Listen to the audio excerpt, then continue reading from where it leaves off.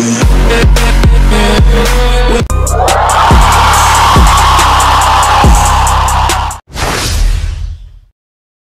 M A के well आज की वीडियो में हम लोग डिस्कस करने वाले हैं time management second year mathematics paper के लिए। इस वीडियो को बनाने के लिए काफ़ी ज़्यादा रिक्वेस्ट आ रही थी कमेंट्स आ रहे थे कि सर हमारे एग्ज़ाम से पहले काइंडली आप एक टाइम मैनेजमेंट वीडियो बना दें मैथमेटिक्स के लिए, जो सेकेंड ईयर का पेपर होता है। उस पर लाजमी एक वीडियो अपलोड करें क्योंकि हमें जो टाइम का मसला है वो बहुत ज़्यादा पेश आता है। अब अमूमन ये होता है, देखा गया कि जो सेकेंड ईयर का जो मैथमेटिक्स का पेपर होता है, उसमें हार्डली फाइव परसेंट स्टूडेंट या टेन परसेंट स्टूडेंट ऐसे होते हैं जो कि मतलब कि हंड्रेड परसेंट पेपर जो है वो अच्छे से पूरा अटैम्प्ट कर पाते हैं। बाकी जो rest of the ninety percent होते हैं, उनके, उनसे किसी से एक पार्ट रह जाता है या कुछ एम से मसला हो जाता है या लॉन्ग क्वेश्चन से मसला हो जाता है तो या रह जाते हैं या गलत हो जाते हैं वट एवर जो भी होता है। तो आज की वीडियो में ये सारी बातें डिस्कस करने वाला हूँ कि मैं आपको सारी बातें वो बताऊँगा कि आप कौन से क्वेश्चन को पहले करें और कौन से क्वेश्चन को आप बाद में करें, कौन से यूनिट्स को आप अच्छे से प्रिपेयर कर लें कि आपको पेपर में सॉल्व करते हुए थोड़ा सा कॉन्फिडेंस और मोटिवेशन फील हो। तो ये सारी बातें आज की वीडियो में हम तफसील से डिस्कस करेंगे। तो उसके लिए आपने वीडियो को शुरू से लेकर एंड तक देखना है और इसका कोई पार्ट आपने स्किप नहीं करना। वीडियो स्टार्ट करने से पहले जो हर वीडियो के शुरू में एक बात करता हूँ, एक रिक्वेस्ट करता हूँ या आपसे एक गुजारिश करता हूँ छोटी सी कि अगर के चैनल पर न्यू है तो बस काइंडली गुजारिश है कि सब्सक्राइब कर दीजिए। यहाँ पर नीचे जाओगे ना, यहाँ पर मेरी उंगली को देख लो, नीचे जाओगे तो सब्सक्राइब का बटन मिलेगा रेड कलर का, ठीक है? उसको सब्सक्राइब कर देना और साथ बेल आइकन लाजमी प्रेस कर लें ताकि आपका जो मुस्तबिल में भी आपका मेरा जो है वो साथ बना रहे और आपको इसी तरह की यूज़फुल वीडियोस मिलती रहें। और इसके साथ साथ जो लाइक की उम्मीद में हमेशा से कर रहा होता हूँ तो वो तो मेरे ख्याल से आप लोगों ने लाइक आते साथ ही कर दिया होगा। तो चलें अपनी वीडियो को अब स्टार्ट कर लेते हैं। तो ओके स्टूडेंट्स अब हम अपने पेपर पर आ चुके हैं। आ, ये जो मैंने पेपर लिया है ये मैंने फेडरल बोर्ड का मॉडल पेपर लिया है। अगर आपका कोई बोर्ड भी है इट डजेंट मैटर आप आ, का जो पैटर्न होगा पेपर का वो मिल, से मिलता जुलता ही होगा। तो ये जो मैं बातें बता रहा हूँ आप आ, वहाँ पर अप्लाई कर सकते हैं। क्योंकि जो सिलेबस है आपका जो सेकेंड ईयर का वो थ्रू आउट पाकिस्तान जो है वो सारों का जो बोर्ड का तकरीबन सेम ही है। और उसमें जो सात चैप्टर्स हैं मतलब कि आपके पास जो फ़ंक्शन लिमिट्स हैं उसके बाद आपके डिफ्रेंसिएशन है उसके बाद आपके इंटीग्रेशन है उसके बाद इंट्रोडक्शन टू इलेक्ट्रिकल जोमेट्री है फिर उसके बाद आपकी इनक्वलिटीज़ वाला चैप्टर है, जिसे हम लीनियर प्रोग्रामिंग बोलते हैं। उसके बाद आपका कॉनिक्स और फिर वेक्टर्स है। तो ये सात चैप्टर जो है, ये थ्रू आउट आपके जितने पाकिस्तान में जितने बोर्ड्स हैं, ये सब के लिए होगा। तो इसमें कोई परेशानी की बात नहीं कि आप कहें कि जी मेरे बोर्ड के लिए नहीं बनाया, मेरे बोर्ड के लिए बनाया। तो ये एक फेडरल बोर्ड का एक मॉडल पेपर मैंने उठा लिया और उस पर हम ये बातें मतलब कि सीखेंगे कि हमने अपने पेपर में कैसे अप्लाई करना है। तो आप वही बातें फिर वहाँ जो यहाँ से सीख कर अपने मतलब के रिस्पेक्टिव पेपर से अप्लाई कर सकते हैं। फेडरल बोर्ड वाले वैसे भी मतलब कि अगर देख रहे हैं तो वो एज इट इज़ जो मैं बातें बता रहा हूँ तो वो इसको फॉलो अप कर लेंगे। ठीक है? अब हमारे पास जो ये सेक्शन ए है सेक्शन ए में हमारे पास जो टोटल एम हैं, वो होंगे ट्वेंटी और इसके लिए टाइम अलाउड है, वो आपके पास ट्वेंटी फाइव मिनट्स हैं। अब आपके, अगर के एक एम के लिए टाइम निकाला जाए तो वो आपका बनेगा एक मिनट और पच्चीस सेकेंड ठीक है? One minute and twenty five second आपका टाइम बनता है। तो आपको ये है कि अपनी जो स्पीड है, वो थोड़ी सी बढ़ानी होगी कैलकुलेशन की। अगर के, मैं आपको तरीका बताता हूँ। अगर के आपको एक एमसीक्यू नहीं आता तो आप उसको फ़िलहाल उस टाइम के लिए थोड़ा छोड़ दें, क्योंकि आप अगर के उसको गलत लगाने से बेहतर है कि आप थोड़ा सा टाइम लेके इसको सॉल्व करके वापस आएँ। मतलब कि पहले आप एक दफ़ा क्वेश्चन पेपर को सारा रीड कर लें और उसके बाद जब वापस आएँगे तो इससे होता ये कि जब आप मतलब कि अगले एम पर गए होते हैं, लेकिन आपका जो माइंड होता है, वो सब कॉन्शियस माइंड में आपके जो एम वो चल रहा होता है। तो कोशिश करें कि आप अगर के मतलब कि जब देखते हैं कोई एम आपको नहीं आता तो आप उसको उस वक्त लगाने की बजाय आप उसका ऑप्शन कोई भी सिलेक्ट नहीं करें। आप उसका फ़िलहाल कुछ देर के लिए छोड़ दें और उसके बाद जो है मतलब कि वापस आके उसको सॉल्व कर लें। अब यहाँ पर जो है बच्चों का एक क्वेश्चन बहुत ज़्यादा आता है कि सर रफ वर्क कहाँ पर करें? मतलब कि ये बहुत ज़्यादा इंपॉर्टेंट क्वेश्चन है। तो याद रखिएगा, जब आपका पेपर स्टार्ट होता है तो आपको साथ ही इसकी जो है वो जो ई शीट्स होती हैं या आपकी सॉरी ई शीट नहीं आंसर बुक्स आपकी जो होती हैं, वो आपको मिलना शुरू हो जाती हैं। बुकलेट्स आपकी जो होती हैं, जिसमें आपने पेपर करना होता है तो आपको मिलना शुरू हो जाती हैं, ठीक है? एम के साथ ही। तो आप ऐसा करेंगे कि अपने जो है उस बुकलेट के लास्ट में भी चले जाएँगे और पेंसिल से रफ वर्क की एक हेडिंग देकर आप उसमें सारा काम कर लेंगे, जितना भी इसका रफ वर्क होगा। लोग पूछते हैं कि सर, हम क्वेश्चन पेपर कर सकते हैं। तो आप क्वेश्चन पेपर पर जितना भी मतलब कि लिखना होता है, वो अलाउ नहीं होता तो आप कोशिश करें कि इस बात से बचा करें। तो आप वो बुकलेट पे किया करें। अब यहाँ पर एक कंडीशन है कि बाज जो इन्विजिलेशन स्टाफ होता है, वो क्या करता है कि वो इसके बाद ही आंसर शीट देना शुरू करता है।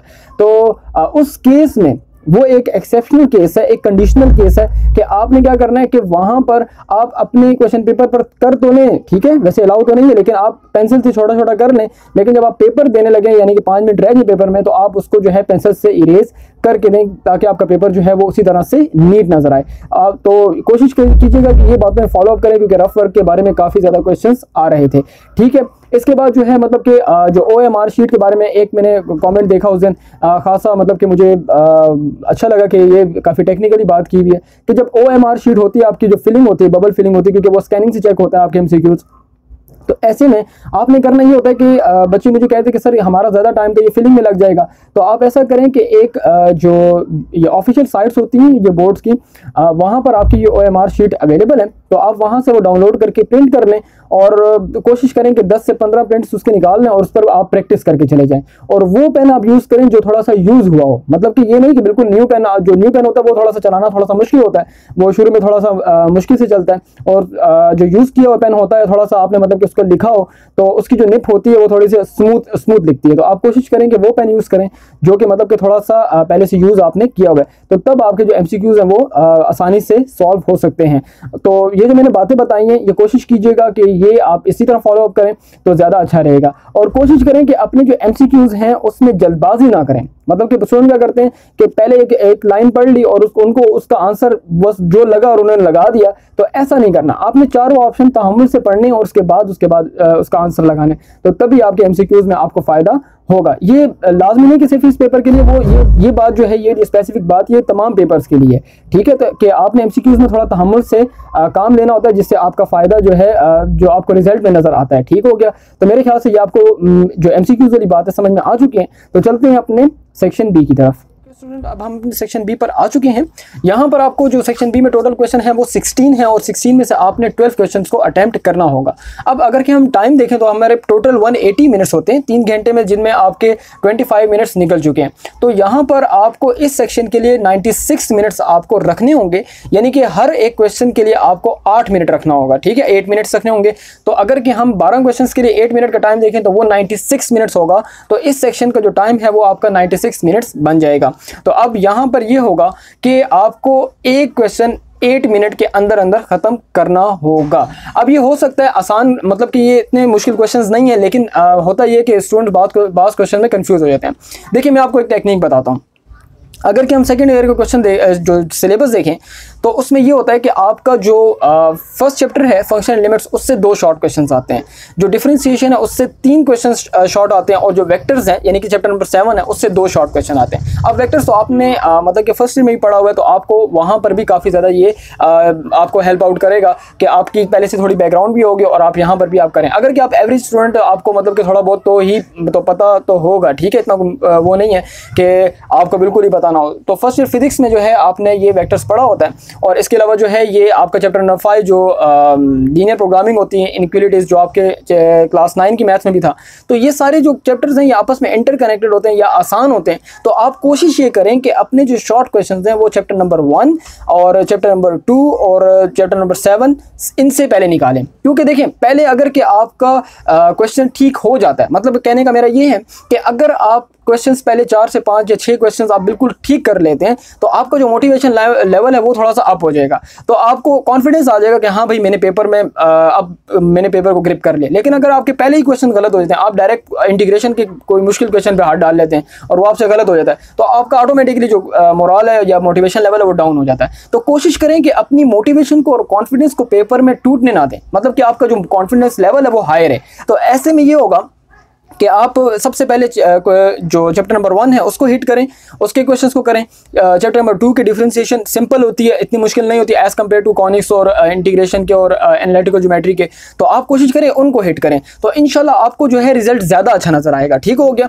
तो आप जब इसको इस तरह से हिट करेंगे तो मतलब कि इस तरह से सॉल्व करेंगे तो आपको जो है ज़्यादा आसानी होगी पेपर को सॉल्व करने में। तो ये जो टिप्स और ट्रिक्स है, ये आपको मतलब कि पेपर में काफ़ी ज़्यादा हेल्प आउट करेगी। बस आपने ये करना है कि इसको जो है वहाँ पर जाकर प्रैक्टिकली अप्लाई करना है। अब आ, होता ये है कि बाज़ात इस तरह का सीन हो जाता है कि बच्चे से क्वेश्चन नहीं हो रहा होता सॉल्व ठीक है ना? ये भी एक कंडीशन सुन लें कि बच्चे से क्वेश्चन सॉल्व नहीं हो रहा होता तो वो क्या करता है कि वो अपने एट मिनट का टाइम है अब एक क्वेश्चन के लिए। वो क्या करता है कि वो इस क्वेश्चन पर सारा टाइम लगा देता है मतलब कि चालीस मिनट लगा दिए पैंतालीस मिनट लगा दिए और बाज़ात अनफॉर्चुनेट मोमेंट ये होती है कि वो तब भी सॉल्व नहीं होता क्वेश्चन ठीक है?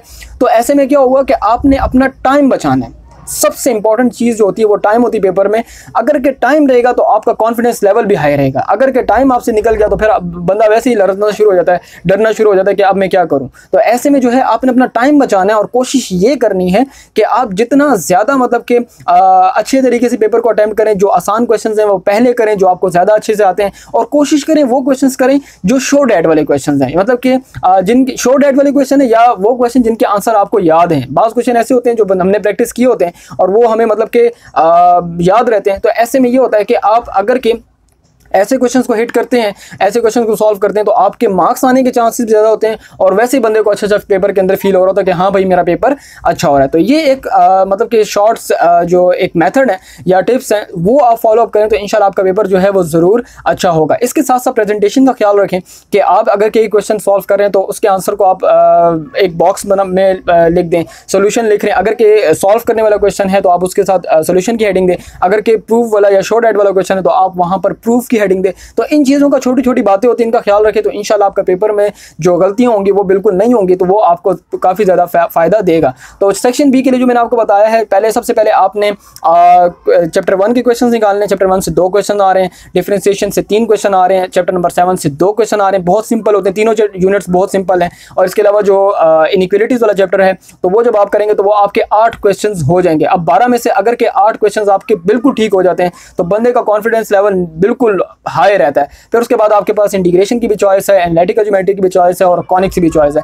ये मैंने आपको वो बात बताई है जिससे एक एवरेज बच्चा भी हंड्रेड में से 99, 98 या 100 मार्क्स ले सकता है। अगर कि आप इस स्ट्रेटेजी को फॉलो करें तो ये ज़्यादा आपको हेल्प आउट करेगी। सो ओके स्टूडेंट्स अब हम सेक्शन सी पर आ चुके हैं। सेक्शन सी में आपके पास जो टोटल टाइम है करने का वो 59 मिनट्स है।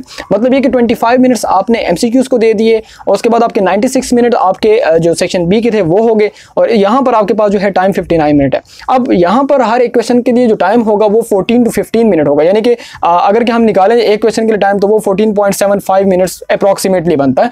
तो ऐसे में हम उसको 15 मिनट्स के करीब करीब कंसिडर कर लेंगे। अब ऐसे में जो 96 मिनट हमने सेक्शन बी के लिए रखे थे वो आपने ये नहीं करना कि आपने 96 मिनट में, में ही खत्म करना है। आप कोशिश करें कि आप उसको पहले खत्म करें जिससे फ़ायदा ये होगा आपका कि आपका जो टाइम है वो टाइम आपका आ, मतलब कि बच जाएगा। तो वो टाइम आपका यहाँ पर भी यूज़ हो सकता है वो टाइम आपका जो है वो आ, पेपर की रिविजन में भी यूज़ हो सकता है क्योंकि मैथ्स का पेपर बहुत ज़्यादा टेक्निकल होता है और इसमें जो रिविजन है वो बहुत ज़्यादा इंपॉर्टेंस रखती है जिससे आपकी मतलब कि जो अगर कि आपने कोई गलती की हुई है तो वो भी इसमें नज़र आ जाएगी तो आप वो ठीक कर सकते हैं। अब यहाँ पर अगर हम देखें तो इसमें चैप्टर नंबर वन से भी एक क्वेश्चन को उठाया जाता है चैप्टर नंबर टू थ्री हर एक यूनिट से एक क्वेश्चन को उठाया जाता है। यानी कि टारगेट होता है कि हर एक यूनिट से एक क्वेश्चन को लिया जाए। तो कोशिश आप वही करें कि आप जो आपकी जो अप्रोच है, वो chapter number unit number one के लिए होनी चाहिए यूनिट नंबर टू के लिए होनी चाहिए। यानी कि जो फ़ंक्शन लिमिट और डिफ्रेंसिएशन के क्वेश्चन होते हैं, वो कदरे आसान होते हैं एज कंपेयर टू जो बाकी क्वेश्चन होते हैं। इसके अलावा जो लीनियर प्रोग्रामिंग से अगर कोई क्वेश्चन आया है लॉन्ग तो आप वो पहले अटैम्प्ट कर लें। तो अगर आप तीन क्वेश्चन पहले यहाँ पर जैसे आपको नज़र आ रहा है, आप कर लेते हैं। तो ऐसे में ये होगा कि आपका मतलब कि टाइम भी बच जाएगा, यानी कि आसान होते हैं as compare to other question और इसमें यह होगा कि आपका जो है, आपको श्योरिटी होगी, आपके आंसर ठीक है। अब यहाँ पर अगर आप तीन क्वेश्चन बिल्कुल एग्जैक्टली ठीक कर लेते हैं तो बाकी बच्चों को जो मैक्सिमम बच्चों को प्रॉब्लम आती है, वो इंटीग्रेशन में आती है, या एनालिटिकल ज्योमेट्री में आती है, या कॉनिक्स में आती है, ये मैं अपनी एक्सपीरियंस की बात करूँ कि जब मैं, जब से मैं पढ़ा रहा हूँ तो इंटीग्रेशन एनालिटिकल ज्योमेट्री और कॉनिक्स के जो चैप्टर्स होते हैं, इनमें बच्चों को अमूमन प्रॉब्लम आती है as compare to the other chapters आपके जो चार चैप्टर्स हैं, चार यूनिट्स हैं ये आपके फ़ंक्शन लिमिट्स डिफ्रेंसिएशन और लीनियर प्रोग्रामिंग और वैक्टर्स ये चार यूनिट्स बहुत आसान बच्चों को लगते हैं और बाकी तीन यूनिट्स में बच्चों को प्रॉब्लम्स होती हैं। तो आप कोशिश ये करें कि मैं अब एवरेज स्टूडेंट की बात करूँ तो वैसे आप लोग मेरे से इतफाक भी करेंगे कि आपको ये इन यूनिट्स में काफ़ी ज़्यादा इजी फील होता होगा। तो ये क्वेश्चन आप पहले अटैम्प्ट करें, इससे आपका कॉन्फिडेंस लेवल जो है वो मेंटेन रहेगा। बस आपने मैथ्स के पेपर में कॉन्फिडेंस लेवल लूज नहीं करना। अगर कि आप लूज करके जो आपको आता भी होगा, वो भी आप मतलब कि भूल जाएँगे। तो आपके जो है मार्क्स खुदा न खास्ता इसमें जो है इफ़ेक्ट कर सकते हो सकते हैं। तो आपने इस चीज़ का लाजमी ख्याल रखना है। अब यहाँ पर जो है, यहाँ पर इन्होंने जो लीनियर प्रोग्रामिंग है, उससे क्वेश्चन को हिट किया हुआ है। आप लाजमी नहीं कि लीनियर प्रोग्रामिंग से मतलब कि ये क्वेश्चन इस दफ़ा भी आए, हो सकता है कि वो वेक्टर से आ जाए तो ये वेरी करता है। लेकिन चैप्टर नंबर वन से एक लाजमी आता है चैप्टर नंबर टू से भी आता है थ्री से भी आता है फोर से भी आता है सिक्स से भी आता है। तो ऐसे में जो फाइव और सेवन है, उससे क्वेश्चन वेरी करता है, लेकिन जो चांसेज होते हैं लॉन्ग क्वेश्चन के, वो फाइव यूनिट से ज़्यादा होते हैं। तो ग्राफ जो इनिक्वलिटीज़ होते हैं ग्राफ द इनिक्वलिटीज़ वाले जो क्वेश्चन होते हैं, वो बहुत सिंपल होते हैं। तो आप कोशिश ये करें कि आप उससे से जो है क्वेश्चन निकालने की कोशिश करें। मैं पहले जैसे कि स्टार्ट में कहा था वीडियो के कि आपका कोई बोर्ड है इट डजेंट मैटर लेकिन क्योंकि जो आपका जो सिलेबस है, वो सेम रहता है। तो अगर आप इस अप्रोच के साथ जाएँगे, जो मैं आपको बता रहा हूँ तो इनशाला आपको ज़रूर ज़रूर फ़ायदा होगा। तो मेरे ख्याल से मुझे उम्मीद है कि अब आपको मेरी बातें सारी की सारी समझ में आ चुकी हैं। इसके अलावा जो टाइम मैनेजमेंट है, वो मैंने जो आपको टाइम बताया है, यानी कि फ़र्स्ट यूनिट के लिए ट्वेंटी मिनट हो गए। सेकंड के लिए 96 और उसके बाद जो है वो आपके जो 59 मिनट है। तो ऐसे में जो है अगर कि आप इनको मतलब के साथ लेके चलते हैं और कोशिश ये करें कि अपने इस गिवन टाइम से पहले आप सेक्शन को ख़त्म करें तो ज़्यादा आपके लिए आसानी होगी, आपका टाइम बचेगा तो वो आपका रिविजन में यूज़ होगा। इसके साथ साथ जो आपकी प्रेजेंटेशन है, वो बहुत ज़्यादा मैटर करती है। आप प्रेजेंटेशन पर लाजमी फोकस करें, यानी कि आपकी जो हेडिंग्स हैं, आपकी अब मैथ्स में आप लोग कहेंगे कौन सी हेडिंग उसमें आपकी जो क्वेश्चन करते हैं आंसर में आपके सोल्यूशन होते हैं सोल्यूशन की हेडिंग प्रूफ की हेडिंग या आप आंसर लिखते हैं तो आपके जो है मतलब कि आप बॉक्स में लिखें। अगर कि आप पूरी इक्वेशन लिख रहे हैं तो आप उसके पीछे एम्प्लाइज के साइन डालें और दरमियान में अगर कि इक्वल आ रहा है तो पीछे आप मतलब के एम्प्लाइज का साइन डालें और अगर के सिंपल आप लिख रहे हैं तो आप इक्वल का साइन डाल दें। तो कहने का मतलब है कि ये प्रेजेंटेशन होती हैं, जो छोटी छोटी बातें होती हैं, आपके पेपर को एक अच्छा लुक देती हैं। तो कहने का मतलब ये हुआ कि अगर कि आप प्रेजेंटेशन पर फोकस करें तो इनशाला आपका मैथ्स का पेपर भी नाइन्टी प्लस मार्क्स स्कोर आराम से कर लेगा। बाकी ऐसे बच्चे भी, मैंने देखे, मेरे स्टूडेंट्स हैं, माशाल्लाह के वो 99 और 100 आराम से मार्क्स ले लेते थे। तो इसमें ज़्यादा इतनी कन्फ्यूज़न नहीं होती क्योंकि ये एक डायरेक्ट पेपर होता है कि जिसमें आपको मतलब कि या तो आता होता है या आपको नहीं आता होता। तो ऐसे में जो है आपने, अगर के आपको बिल फ़र्स्ट कोई क्वेश्चन नहीं भी आ रहा तो आप उसके लिए मतलब कि स्पेस छोड़ के आप लास्ट में चले जाएँ, पहले पेपर खत्म कर लें और उसको अगर के टाइम बचे तो उसको वापस आके देखें। ये नहीं कि उसको करते रहे, नहीं हो रहा, फिर भी आप कर रहे हैं तो टाइम आपका निकल जाएगा, जिससे आपका मतलब कि नुकसान हो सकता है। तो कोशिश करें कि अपने पेपर में टाइम लाजमी बचाएँ, जिससे आपको मतलब के बहुत से फ़ायदे नज़र आएँगे। और इसके साथ साथ जो है कि जो प्रूफ वाले क्वेश्चन होते हैं शॉर्ट एड वाले क्वेश्चन वो ज़्यादा अटैम्प्ट किया करें। और बिल फ़र्ज़ में आपको एक ये भी एक ट्रिक बता देता हूँ कि अगर आपके लेट से आपके पास एक चॉइस रह गई है कि आपको पेपर में क्वेश्चन नहीं आते, लेकिन आपको शॉर्ट एड वाले क्वेश्चन की चॉइस अब आपके पास या फिर आपके पास एक नॉर्मल क्वेश्चन जिसका एक आपने आंसर निकालना है। तो आप कोशिश करें कि जो शो डेट वाला क्वेश्चन है, उसकी तरफ़ चले जाएँ। प्रूफ डेट वाला या शो डेट वाला। उसमें ये होगा कि जब आप उसको सॉल्व करेंगे तो एट द एंड जो आंसर आएगा, वो आपको पता होगा कि आपने ये लेके आना है। तो बस वो चीज़ जो आप डायरेक्ट लिख दें और बीच में कटिंग वगैरह ना करें तो ये एक मतलब कि सेफ़ जोन आपके लिए होगा कि आपको इसमें हो सकता है मार्क्स मिल जाए। मैं ये नहीं कह रहा कि आपको मार्क्स मिलेंगे, मैं ये कह रहा हूँ कि आपके हो सकता है कि इसमें आपकी प्रोबेबिलिटी मार्क्स मिलने की ज़्यादा है एज़ कंपेयर टू कि आप वो किसी भी चीज़ को फाइंड करके उसका आंसर निकालें और ये सोचें कि मुझे स्टेप्स के नंबर मिलेंगे। तो आप ये काम ना करें। आप अगर कि आपको क्वेश्चन नहीं आता तो आप शो डेट वाले क्वेश्चन पर चले जाएँ और बीच में कटिंग वगैरह ना करें और सॉल्व करके आखिर में आंसर प्रूफ लिख दें प्रूफ डेट तो वहाँ पर आपको मार्क्स मिलने के चांसेस जो होते हैं वो थोड़े ज़्यादा होते हैं as compare to this one कि जिसमें आपने आंसर किस चीज़ का निकाला हुआ है। तो ये जो है छोटी छोटी बातें होती हैं जिससे आपका पेपर मतलब कि अच्छा नज़र आ सकता है। तो मेरे ख्याल से आ, अब आपको क्लियर हो चुकी हैं। तो चलें अपनी अगली वीडियो में मिलेंगे। तब तक के लिए अपना बहुत ख्याल रखिएगा मुझको इजाज़त दीजिए। Alá.